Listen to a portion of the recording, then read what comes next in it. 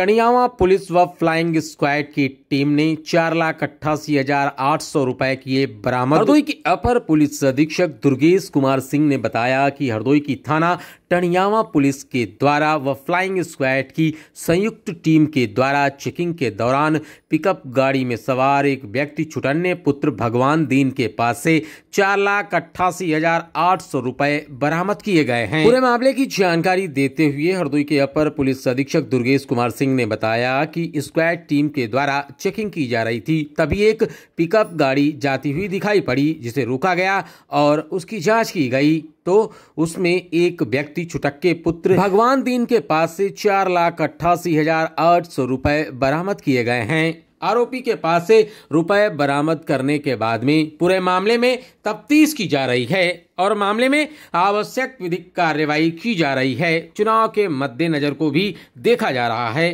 कि कहीं यह पैसा चुनाव को लेकर के तो नहीं जा रहा था। पुलिस पूरे मामले में आवश्यक विधिक कार्यवाही में जुट गई है।